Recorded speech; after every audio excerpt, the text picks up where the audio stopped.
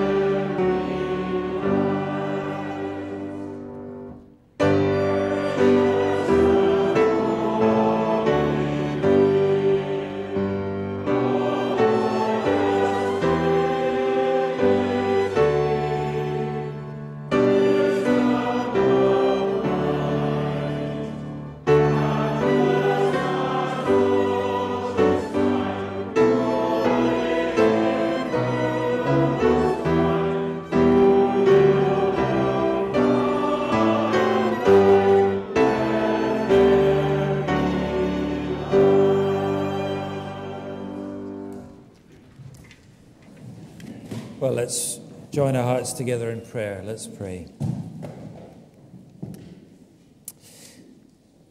We bow before you, our great and gracious God, the all glorious Trinity, who has made known to us such wisdom and love and might in the light of your glory shed in this world in the face of our Lord Jesus Christ. Lord, we rejoice that we can sing with hearts full of gladness of your mighty word, of your mighty Savior, of your wonderful love to us, that though we were enemies, though we were afar off and distant, though we had stopped our ears to your call and gone our own way, Yet you stoop down in love and in mercy to find us and to bring us home, to bury us in an ocean of your marvelous grace. How we rejoice that salvation belongs to the Lord, to our God, and that you have reached out and touched us with that salvation, full and free. Lord, we thank you for all your wonderful goodness to us. And we thank you for the multiplicity of ways that your blessing is evidenced in our lives. All of us who gather in your name, who love your Son, we know we have so much to thank you for. Not only the breath in our bodies, because every day that we live is a day lived by your grace and your mercy. Were it not for that, we would perish in a moment. And yet, Lord, not only do we live by your grace, but our lives are populated with such joy, with such fullness.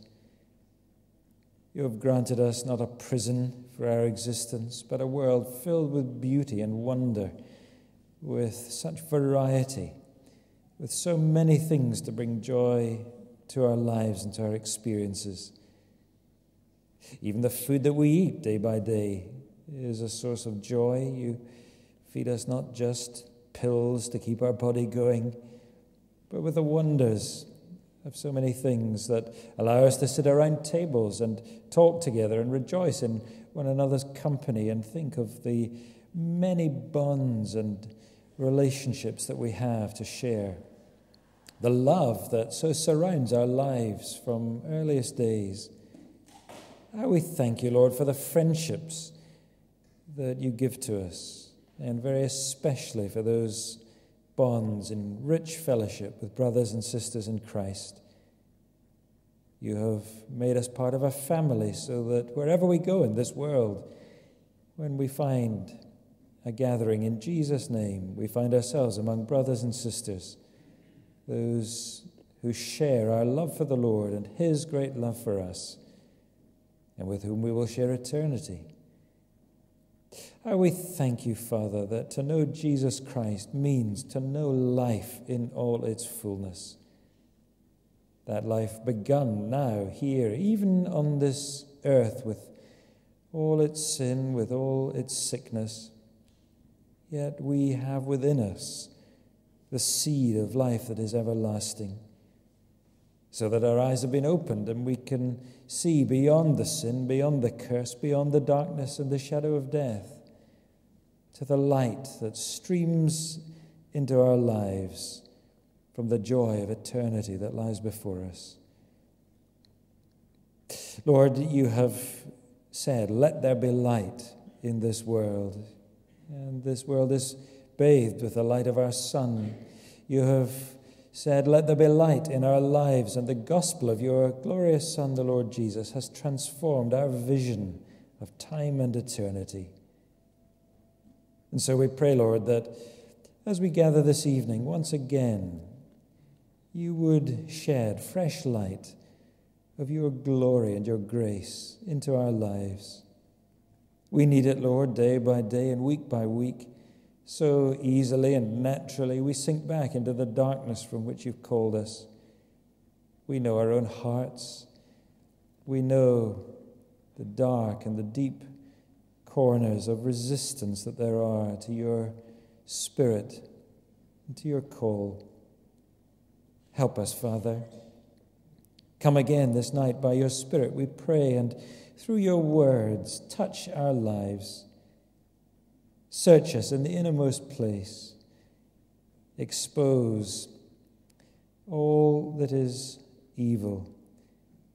And draw us once again to the place of penitence to the place where your mercy can once again wash away our sin, and where your love and your call can restore us to a place of fellowship and of closeness with you.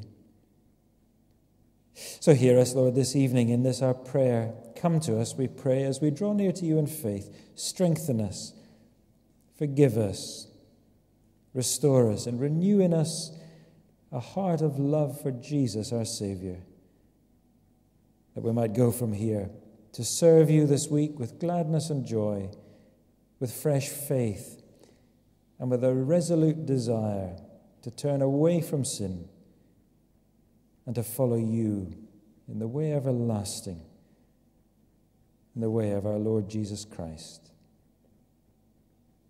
For we ask it all in His precious and all glorious name. Amen. Well, we've sang of God's almighty word. Now we sing again, number 752, of his wonderful grace that that word conveys to us. Wonderful grace that gives what I don't deserve, pays me what Christ has earned, and lets me go free. Number 752.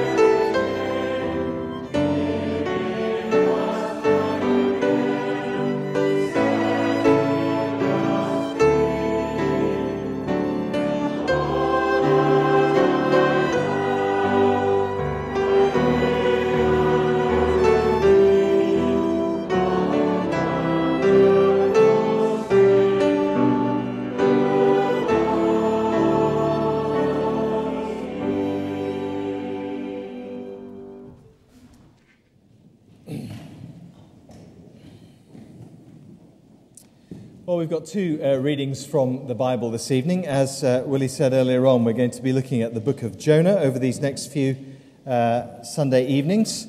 Uh, but our first reading this evening is not from the book of Jonah, but from 2 Kings chapter 14. And I'd be very grateful if you turn to 2 Kings chapter 14. I think that you'll find that on page 321 in the Blue Bibles. An important little section because it sets uh, some of the historical background for uh, the book of Jonah. 2 Kings chapter 14. I'm going to start reading at verse 23. In the 15th year of Amaziah the son of Joash, king of Judah, Jeroboam the son of Joash, king of Israel, began to reign in Samaria, and he reigned for 41 years. And he did what was evil in the sight of the Lord. He did not depart from all the sins of Jeroboam the son of Nebat, which he made Israel to sin. He restored the border of Israel from Lebo Hamath as far as the sea of the Arabah, according to the word of the Lord, the God of Israel, which he spoke by his servant Jonah the son of Amittai the prophet, who was from Gath Hepher. For the Lord saw that the affliction of Israel was very bitter, for there was none left, bond or free, and there was none to help Israel. But the Lord had not said that he would blot out the name of Israel from under heaven, so he saved them by the hand of Jeroboam the son of Joash. Now, the rest of the acts of Jeroboam, and all that he did, and his might, how he fought, and how he rescued, restored Damascus and Hamath to Judah in Israel. Are they not written in the book of the Chronicles of the kings of Israel? And Jeroboam slept with his fathers, the kings of Israel, and Zechariah his son reigned in his place. Now turn over, please, to uh, Jonah and chapter 1. You'll find that on page 774.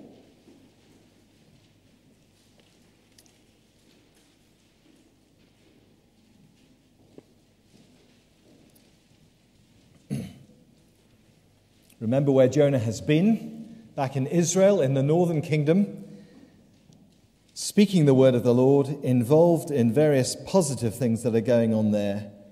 Jonah chapter 1, verse 1. Now the word of the Lord came to Jonah, the son of Amittai, saying, Arise, go to Nineveh, that great city, and call out against it, for their evil has come up before me. But Jonah rose to flee to Tarshish from the presence of the Lord. He went down to Joppa and found a ship going to Tarshish. So he paid the fare and went on board to go with them to Tarshish away from the presence of the Lord. But the Lord hurled a great wind upon the sea, and there was a mighty tempest on the sea, so that the ship threatened to break up. Then the mariners were afraid, and each cried out to his God, and they hurled the cargo that was in the ship into the sea to lighten it for them. But Jonah had gone down into the inner part of the ship and had lain down and was fast asleep. So the captain came and said to him, What do you mean, you sleeper? Arise. Call out to your God. Perhaps the God will give a thought to us, that we may not perish. And they said to one another, Come, let us cast lots, that we may know on whose account this evil has come upon us. So they cast lots, and the lot fell on Jonah. Then they said to him, Tell us on whose account this evil has come upon us. What is your occupation? And where do you come from? What is your country? And of what people are you? And he said to them, I am a Hebrew and I fear the Lord, the God of heaven, who made the sea and the dry land. Then the men were exceedingly afraid and said to him, What is this that you have done? For the men knew that he was fleeing from the presence of the Lord because he told them. Then they said to him, What shall we do to you that the sea may quiet down for us? For the sea grew more and more tempestuous. He said to them, Pick me up and hurl me into the sea then the sea will quiet down for you, for I know it is because of me that this great tempest has come upon you. Nevertheless, the men rowed hard to get back to dry land, but they could not, for the sea grew more and more tempestuous against them.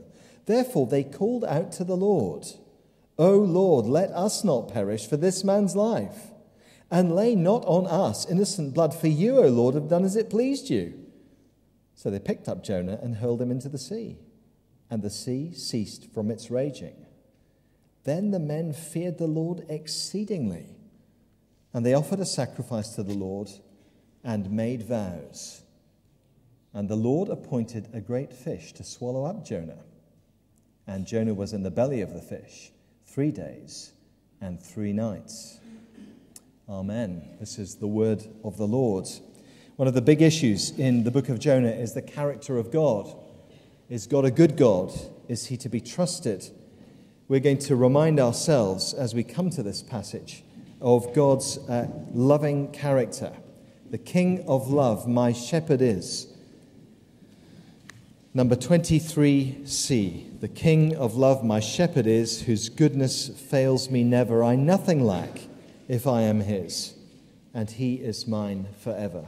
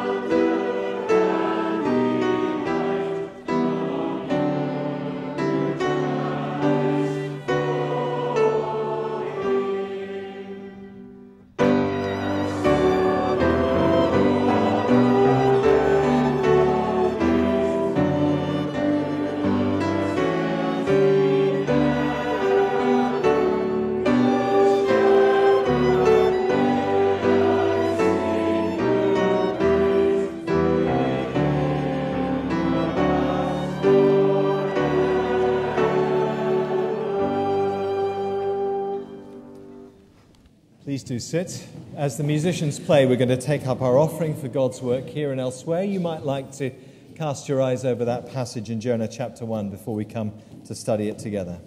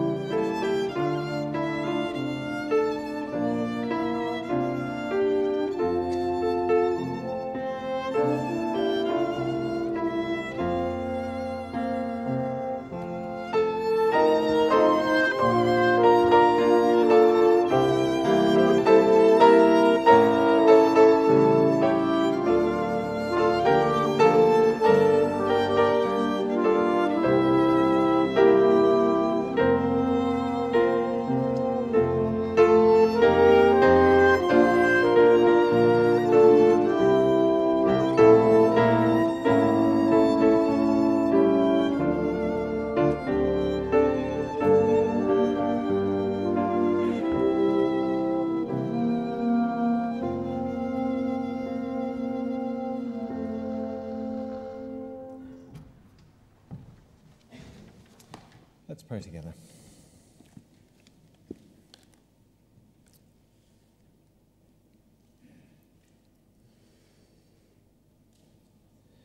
The God who made the world and everything in it, being Lord of heaven and earth, does not live in temples made by man, nor is he served by human hands, as though he needed anything since he himself gives to all mankind life and breath and everything.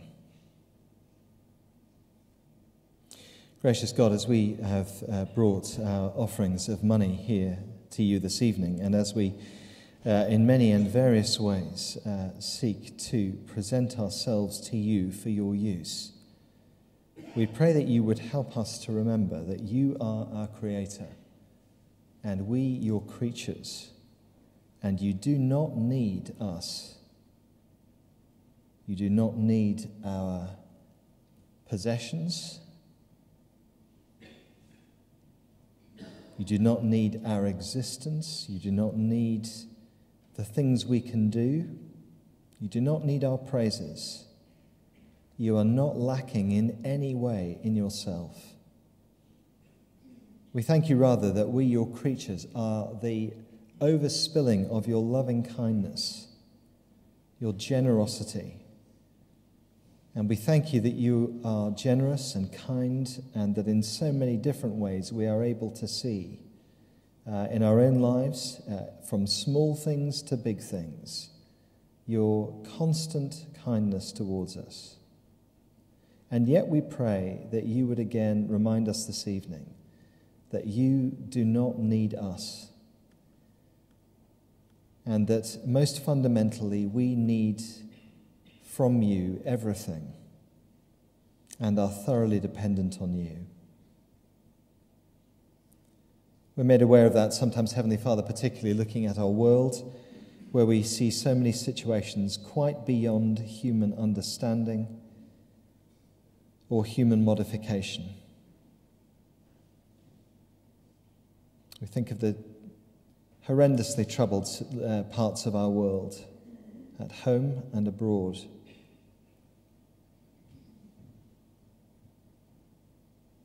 We think, Father, of those who, in their own lives, people known to us, particularly experience at the moment a sense of their own weakness and inability to do anything. And we pray for them in the quiet now.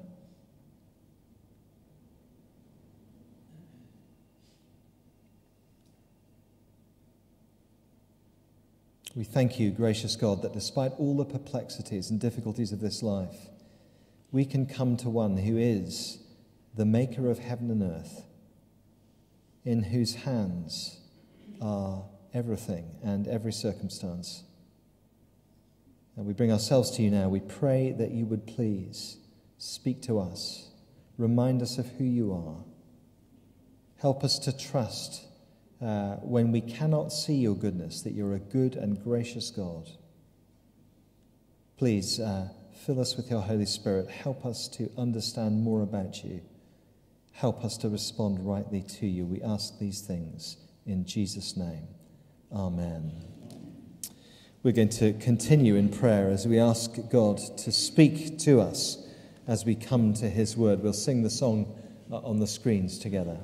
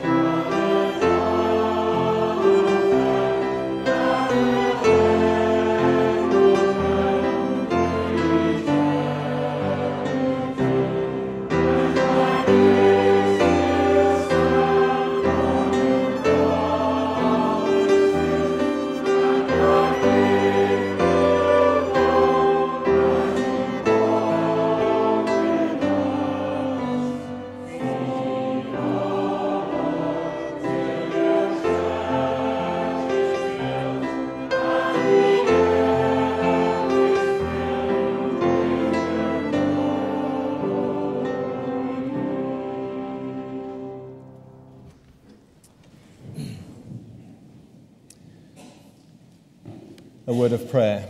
Heavenly Father, we pray that as we've already sung, you would indeed give to us true obedience, reverence, humility. Speak to us and change us, we pray, in Jesus' name. Amen. Four Sunday evenings to look at this little book, the book of Jonah. I guess well, who here, put your hand up. No, it's too embarrassing to do that. I was going to say put your hand up if you've never heard of this story, but that's much too embarrassing because you'll be kind of on your own because nearly everybody's heard of this story. Go out into the street outside and ask people to complete this phrase Jonah and the whale. Everybody knows that the name of Jonah is associated with a large marine creature, whatever quite description it is. It's a very well known story, this story. For those of us who know a lot about the Bible, this story is probably even more familiar. Grumpy prophet, doesn't like foreigners, told to go and preach to foreigners, won't go and preach to foreigners, goes to the sea instead. Storm, thrown into the sea, rescued by fish, vomited up by fish, told to go and preach to foreigners again, does it this time. Preaches to foreigners. Foreigners listen. Prophet very, very unhappy. Take home message bad man. Don't be like him. Simple story on the face of it. What is there to understand? Well, let me say that for me, this remains one of the more perplexing books of the Bible and really quite difficult to understand and well worth four Sunday evenings, even for those to whom this story is very familiar. Let me point out how unusual this little book is. Three things to say. First, Jonah's words are very few in this book.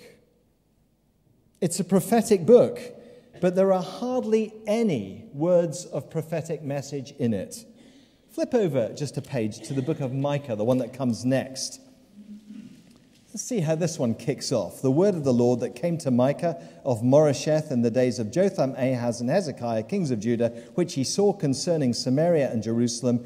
Hear, you peoples, all of you. Pay attention, O earth, and all that is in it. And every single word of the rest of the book is the prophet's message. The whole book is. Back to Jonah. What's Jonah's message? Well, Jonah's message, you have to look hard for it.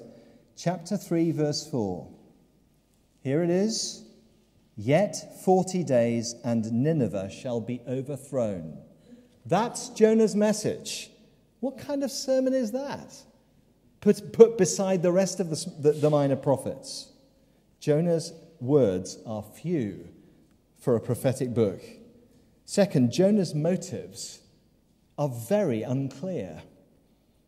In some ways, this book is much more about the prophet himself than most of the other prophetic books. The story revolves around him and his unwillingness to do what God tells him to do. However, in another way, Jonah as a personality is oddly out of focus in this book. He gets plenty of space, but very little depth. Now, let me give you one example. Look at verses 2 and 3 of chapter 1. Arise, go to Nineveh, that great city, and call out against it, for their evil has come up before me. But Jonah rose to flee to Tarshish from the presence of the Lord. We are told what he does. He hears the word of God and runs away, but we're not told why. We're not told what he thought. We're not told what he felt. We have to wait until chapter 4 for any kind of explanation of what was going on in Jonah's head at that point. Uh, look at chapter 4, verse 3. Here we do begin to get an explanation. Uh, sorry, 4, verse 2. Jonah prayed to the Lord and said, O Lord, is not this what I said when I was yet in my country? That is why I made haste to flee to Tarshish. Here we begin to get an explanation. But nothing has been explained before this point of why Jonah heads in the other direction rather than doing what God told him. Is that not strange? Given that the story seems to revolve around him. His motives are not nearly as clear as you might expect. What we do know about him at the end of the book is that he is immensely angry. chapter 4, verse 1. This displeased Jonah exceedingly, and he was angry. Can I say that being in a fuming rage about God is not characteristic of the prophets in the Bible? Jonah is one of the angriest men in the Bible. Uh, I was uh, fortunate enough to be brought up at the point when the Mr. Men books were coming out. You know, Mr. Tickle, Mr. Topsy Turvy, Mr. Greedy, Mr. Messy, and all that lot. And because of their greediness or messiness or whatever, various unfortunate things would happen to them from time to time. Well, Jonah is Mr. Angry.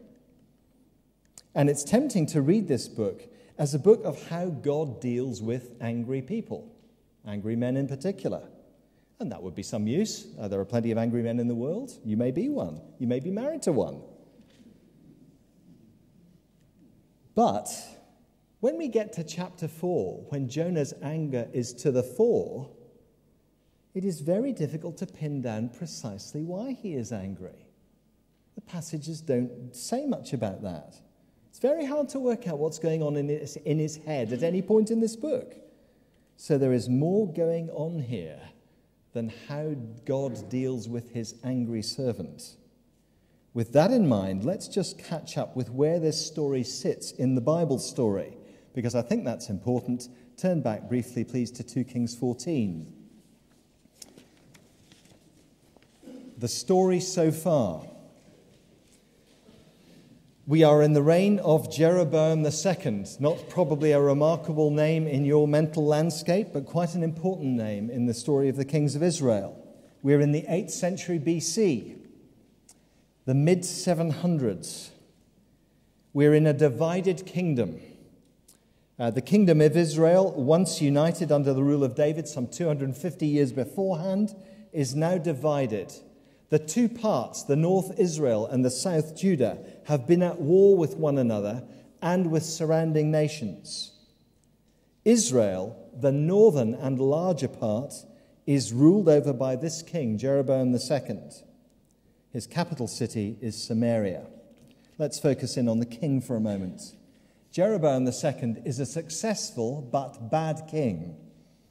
Successful politically and militarily Look at verse 25. He gets back land that has been lost in battle. He's good at fighting. His reign is a time of relative calm and prosperity for his people. This was, in some ways, a high point in the life of the northern kingdom. Assyria, a previously troublesome enemy, is languishing off in the east. Things are not going well there. Nevertheless, verse 24, Jeroboam II is judged as evil in terms of his relation to God and his spiritual legacy. This alerts us to the fact that things can look good and be dreadfully flawed underneath. In this setting, Jonah has been a significant player. He has been the prophet of Israel's prosperity. We find him in verse 25. Jeroboam restored the border of Israel from Lebo Hamath as far as the Sea of the Arabah, according to the word of the Lord, God is using him, which he spoke by his servant Jonah, the son of Amittai the prophet. For the Lord saw that the affliction of Israel was very bitter. Jonah is a prophet at the court of King Jeroboam. He is the spiritual architect of the good things that have happened in Israel during Jeroboam's reign. Unlike his contemporaries, Amos and Hosea, whose books we can also read in the Bible, Jonah is inside the institution, at least in some measure, helping to build uh, the work of Jeroboam, helping to further it, and that is a God given role. He's not being disobedient in doing that. Now, keep that in the back of your mind as we come to this book. He's come from at least relative success back home. We're told nothing much about what his work involved, whether it was hard, how he did it. But we are told that he was used by God, and we're told that in some ways national life was going well, though notice uh, verse 26 that underneath it all, national life is not going well. The changes are superficial, the benefits are temporary. Now, that backdrop is, I think, enormously important because it is from that situation that, that God says, Jonah chapter 1, verse 2, Arise, go to Nineveh, that great city over there, and call out against it, for their evil has come up before me. For Jonah, this is an unbearable command. He simply cannot contemplate doing it. Why unbearable? Well, the reasons for why are not, as I said earlier, explored until we get to chapter 4. So you're going to have to come back uh, in four or five weeks' time to learn about that. For the moment, suffice to say that Jonah apparently would rather be dead than go to Nineveh. It's that bad for him.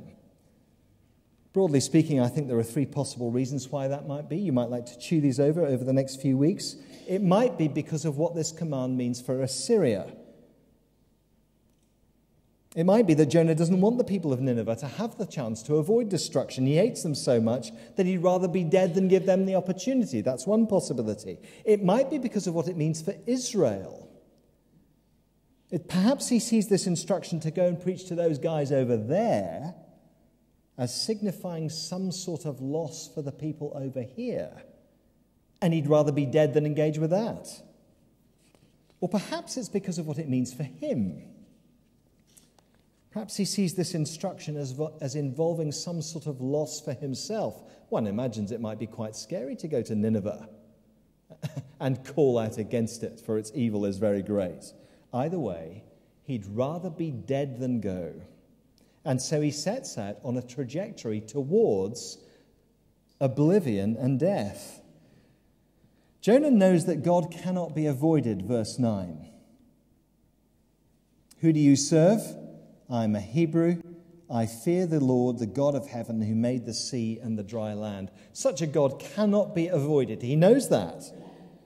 But what Jonah tries to do is to run away from his role in relation to God's word. That little phrase is used several times that Jonah, uh, we'll in verse uh, 3, Jonah fled away from the presence of the Lord or away from before the Lord. And, and that little phrase, before the Lord, uh, is not uncommonly applied to prophets in the Bible. Elijah, for example, is described as one who stands before the God of Israel in his presence. The prophet stands before the Lord and receives the word of the Lord and speaks the word of the Lord to other people. Jonah, I think, is having no more of that. He wants no more of that kind of work and off he goes. For the rest of the chapter, Jonah is relatively unimportant. The chapter involves around two main characters, and both of these characters emphasize the fact that this book is not so much about Jonah as it is about God. The two characters are the sailors and the sea. And we're going to talk about the second first. Let's consider what this passage tells us about the sea. Now, you might not have considered the sea as being a character, but hold on there for a moment. You'll find the sea is a character in this book. Uh, the sea, the true God, is wonderfully powerful. In the Bible, the sea, and sometimes the sea containing a big monster swimming around within it, is an image of anti God chaos. You'll find it everywhere in this chapter. Verse 4, the sea is mentioned twice. Verse 5, we're told about the sea. Verse 9, we're told that God made the land and the sea. Verse 11, the sea. Verse 12, the sea times two. Verse 13, the sea grew more and more tempestuous. Verse 15, Jonah is thrown into the sea and it ceases from its raging. The sea is a major player in this drama. It does things, things happen to it. Now, this has little impact on uh, 21st century Scottish people, let me say. The sea is the place we go to try and get a sunburn in the summertime. But in the Bible, the sea is an image loaded with negativity. Remember back in Genesis chapter 1, right at the beginning, what do we have? Dark, undifferentiated, watery chaos. Into that chaos, God speaks a creative, life giving word let there be light. And God speaks repeatedly into this watery disorder, and out of it emerges the order that we have in the world. And from that point on, in the Bible, the sea, a good thing that God has made, is in some senses loaded with negative ideas. Time and again, especially if you read the poetry of the Bible, the Psalms or the book of Job, uh, the sea, sometimes containing a great swimming monster, is an image of hostility towards God, an enemy of God and his people, symbols of chaos and death and evil. And the true God is described in the Psalms as the one who shuts the sea behind the doors with a command, who calms its storms with a word, who slays its monster with his mighty power. He is able to control it, but it's a hostile image. Now, let me say that images, either in the mind or visual ones, often become loaded with significance for human beings. Uh, many of you, you will have seen online the Arabic letter N in these last weeks, the first letter of the word Nazarene painted on the doors of Christian homes in Iraq with very negative results. That image has become loaded with a whole bunch of ideas well beyond its value as a letter as many Christians have been slaughtered having been labeled with it. In the same way, the sea is a loaded image for a Hebrew audience. It signifies chaos, disorder, uncreation. And Jonah the prophet, the speaker of God's powerful, life giving word, heads for the sea rather than speaking that word. Now, that is an action with attitude. It's there as early as verse 3. Jonah rose to flee to Tarshish from the presence of the Lord. Tarshish. Tarshish is probably not a name for a specific city, like Glasgow or Edinburgh, or Aberdeen, or wherever. It's probably a more generic name. That place a long way over there, across the sea where the boats go. It's possibly used of a number of different seafaring places in the Bible. What they have in common is that they're seafaring places. One modern translator translates verse 3 this way Jonah set out to flee out to the sea away from Yahweh. Now, there, as I said earlier, is a response loaded with attitude. So great is his antipathy towards God's plan for him that he sets out on a trajectory towards chaos, disorder, oblivion, and death instead of the life giving ministry of the word of the Lord. That's what he chooses. And that is where he finds himself in verse 15 lost in the depths of the sea, quite unable to escape the end point of his choice. And as chapter 2 makes clear, he is saved from the place of the dead. Jonah sets out for chaos and death rather than doing what God tells him to do. But in chapter 1, though the sea is an anti God image, God rules it. God rules the sea and the big fish, incidentally.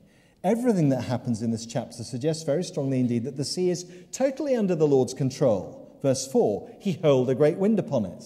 Verse 9, I fear Yahweh, the God of the heaven, who made the sea and the dry land. Verse 12, it's because of me that this great tempest has come upon you. Verse 15, they picked up Jonah and hurled him into the sea, and the sea ceased from its raging. God is even in control of the big things that swim in the sea. It may be big, but it's not a mythical monster, it's just a fish. God is totally in control, even of those things in creation which are loaded with anti God imagery. Folks, I wonder if you believe that God is totally in control. It's not easy to believe sometimes. Sometimes the things that are contrary to God seem to be utterly in control in this world. Doesn't matter where you look natural disasters, human wickedness, the tyranny of human rule, sickness and death. None of those are positive things. Often they seem totally in control. But the true God is wonderfully powerful. He rules over them all, even when they seem totally in control. If you feel overwhelmed by any of those things, do not despair. The good God is absolutely in control of them.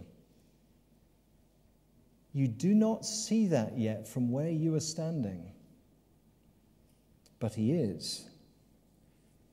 God is much, much, much, much bigger and greater and more merciful and more generous and kinder and more gracious than his people can possibly imagine. Sometimes the sharp end of that is that he does things and requires things that his people, small as we are and sinful as we are, sometimes he does things that seem utterly abhorrent to his people at the time. They will not seem so in the end but they do seem so now. And if this book tells us anything, it tells us that this servant of the Lord is supremely angry at what God has done, so much so that he wants nothing more to do with what God is doing. So much so that he'd rather turn his back on everything he's done so far and embrace the realm of chaos and disaster than continue within the realm of God's life giving word. Unless we face up to the fact that sometimes things happen that God allows that we absolutely hate, we will trivialize this book and trivialize the difficulties of life under God in this world. It is so easy, you see, to think of Jonah as Mr. Angry. That horrid man, the racist, the spiritual lightweight. It is very easy to look down on Jonah and describe him with words and slogans and think that we could never be angry at God like, like he is. And it's very easy to think that nothing could ever happen to make real believers in a fuming rage with God. But to think that this is a world in which the good can always be perceived by God's people is to miss reality. And just as Jonah is easy to look down on and despise, so we find it often all too easy to look down on and despise believers who are angry at God because of things that have happened. Jonah is quite incapable of seeing that God is right to ask this action of him. Now, I take it that this book is here because in the end, Jonah was, at least in part, able to see the good. I take it that this is a story told by Jonah himself. Why else would we have this in the Bible? Who else goes to Nineveh with Jonah? There's not a great team as far as we can see. I take it that this is a story originating from him and told against himself that he changes his mind at some point after all this. But he is a long, long, long way away from that in chapter 1. However, in chapter 1, we, the readers, are reminded that even though Jonah is in a fuming rage about what God is doing, God is wonderfully powerful over all the forces of chaos and evil. And his control here is seen in the other great player in chapter 1, which is the sailors. And we're going to spend the rest of our time on the sailors. The sailors, the true God is wonderfully merciful. The sailors are the, the main human characters in chapter 1. As Jonah moves away out to sea, into the sea, towards death, the sailors come closer and closer and closer to life. And the story is built around three episodes of fear on, behalf, on the part of the sailors, three times we're told they're afraid. And each time, their fear is in response to something about the true God. And each time, they make progress towards the true God. First thing the sailors fear they fear the storm, verse 5. The mariners were afraid.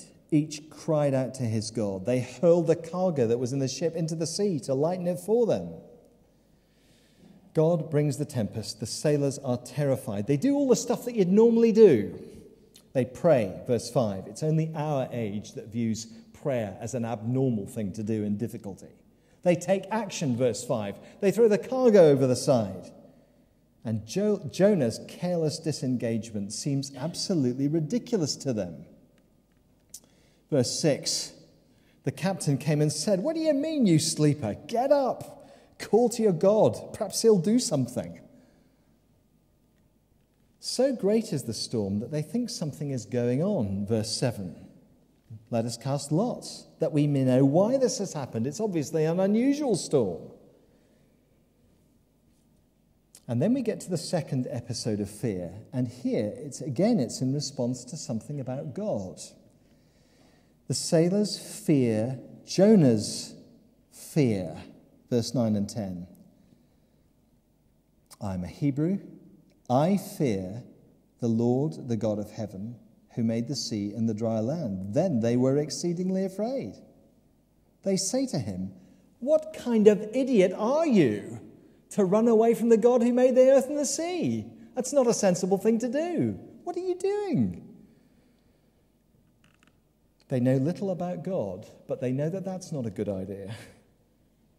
And interestingly, with the little they know about God, they're a great deal more compassionate than Jonah, the Lord's servant. They want to protect the person who's brought this terrible calamity on them, unlike Jonah, who shows no compassion at all for the city of Nineveh that he's been told to go and, and preach to. Notice what they do, verse 14.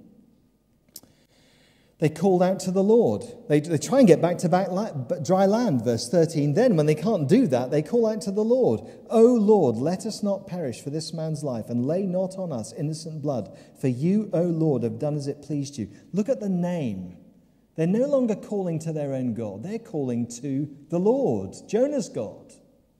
They're addressing him. They know that he has done this. They're calling him by name. And then there's the third bout of fear. Uh, when the storm stops, they picked up Jonah, verse 15. They hurled him into the sea, and the sea ceased from its raging. Then the men feared the Lord exceedingly. Do you see the pattern? Jonah knows about the Lord and runs from his word, a word that the Lord has spoken out of compassion, and Jonah knows that. But the word of the Lord cannot be escaped. And Jonah, the uncompassionate, unwilling, distant, disengaged, the careless, the sleeper, the speaker who does not want to speak, is used by God to speak to the sailors in such a way that they end up doing what he won't. He doesn't really fear God, but they do. He won't serve God, but by the end of the chapter, they're making their vows to serve God. This chapter is about the Word of God and its relentless progress. God wants pagans to know Him, and even a prophet bent on oblivion can't stop that. Now, what do we make of a chapter like this? It's interesting, certainly. It's dynamic. There's lots of things happening. But what on earth is this story doing in the Bible? Well, let me say two things by way of uh, summary and closure. First, sometimes God's people hate what God is doing. It's a reality that needs to be faced. This is not a simple world in which God's good purposes are always easy to discern or easy to, to like when you know what they are. Sometimes God's people hate him extending his kindness to others, hate him making himself known, either the way he's doing it or the people to whom he's doing it. That is not a good thing, of course, but it is a reality. And before we think condemnatory thoughts about Jonah, or others who find themselves angry with what God is doing, we will find by the end of the book how very patient God Himself is with this fuming mad prophet who won't do what he says. God is very patient with Jonah. This is not a simple world in which God's good purposes are easy to discern or easy to like or easy to respond rightly to. Here, as so often, the Bible is wonderfully, wonderfully realistic about life's realities, what we're like, what God is like, how things are in this difficult world. If you are struggling with being angry about God at the moment for what God has done, how refreshing it is to know that this chapter, this book, is in the Bible. Because the Bible acknowledges that kind of reality. Sometimes God's people hate what God is doing. God is remarkably patient with that in Jonah's case. Second thing I want to say the true God really is wonderfully powerful and wonderfully merciful. God's power and mercy are demonstrated abundantly on the smaller scale in this chapter.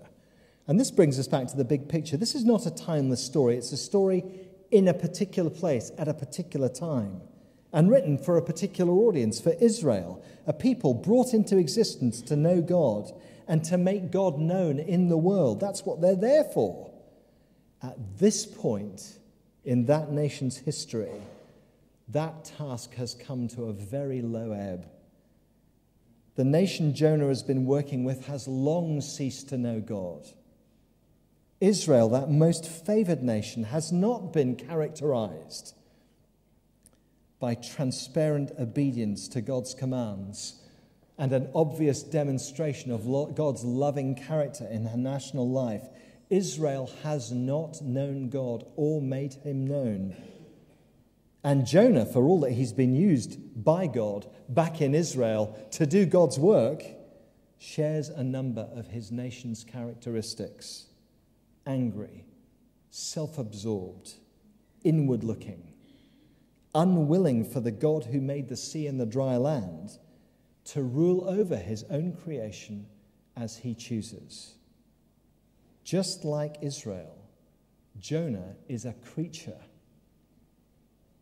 unwilling at this point to be what his creator created him to be. What a relief it is to find that God is not thwarted by the disobedience of his people or of his prophets. God has much bigger concerns than just Jonah or just the people of Israel. He is the creator. The whole of the created order is his concern. And God has not abandoned his story to rescue the created order. Indeed,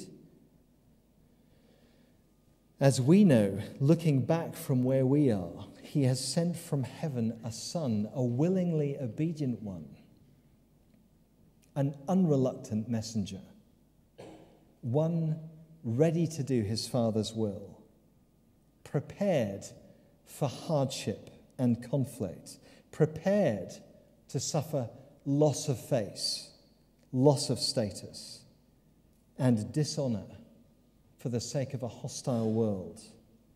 The true God is wonderfully powerful and wonderfully merciful to his world. And that reality puts our own angers into proper perspective. Let's pray together.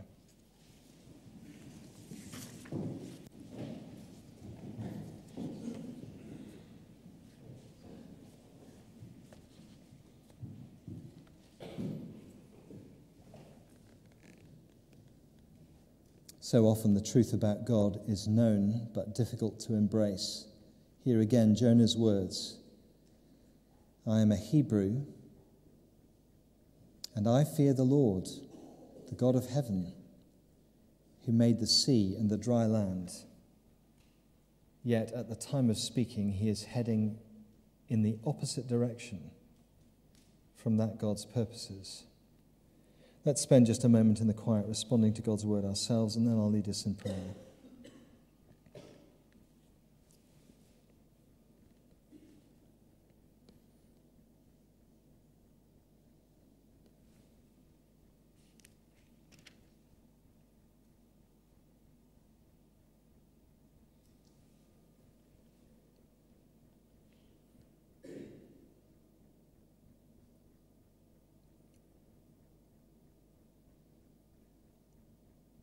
The Lord is a gracious God and merciful, slow to anger, and abounding in steadfast love and relenting from disaster.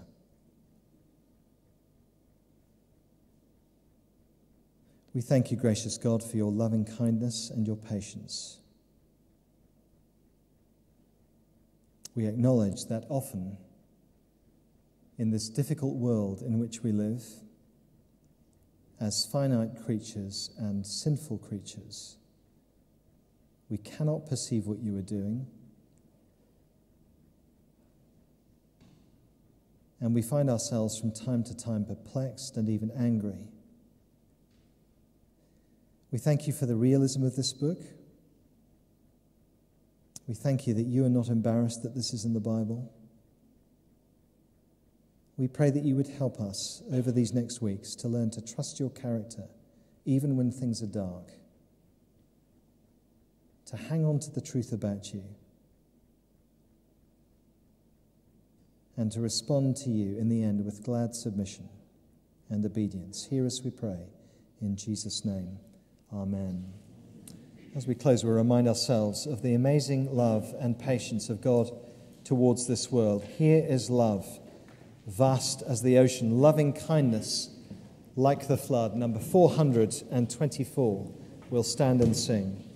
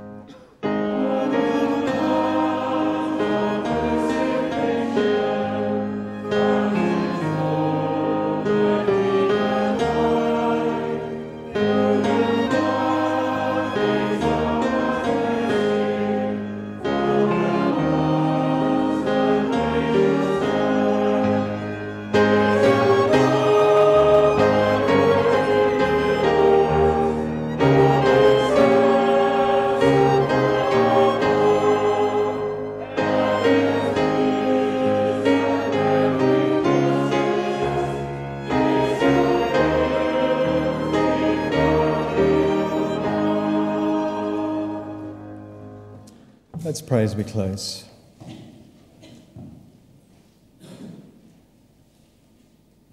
Now may the grace of our Lord Jesus Christ and the love of God and the fellowship of the Holy Spirit be with us all, now and forever. Amen.